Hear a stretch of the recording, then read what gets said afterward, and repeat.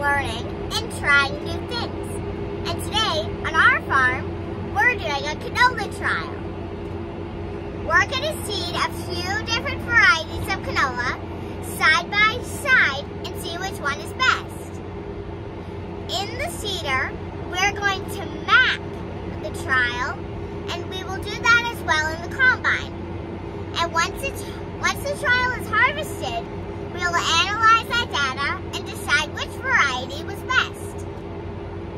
We're looking for a variety that can stand up to the conditions, yields well, and is marketable.